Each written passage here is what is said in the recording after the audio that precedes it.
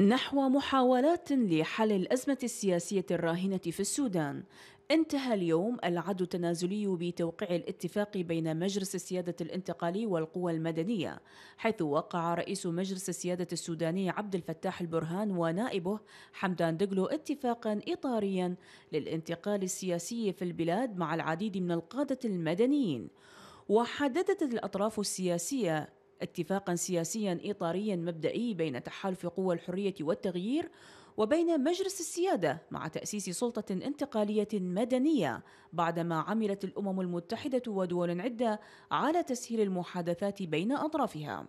ويضمن الاتفاق الإطاري فترة انتقالية سياسية بقيادة مدنية لمدة عامين يقتصر فيها دور الجيش على مجلس للأمن والدفاع يرأسه رئيس الوزراء. وسيعقب الاتفاق مباشرة مرحلة إكمال تفاصيل بعض القضايا بأوسع مشاركة من قوى ثورية. ليتأسس عليها دستور انتقالي ثم تتشكل مؤسسات السلطة الانتقالية في فترة لا تتجاوز أسابيع محدودة.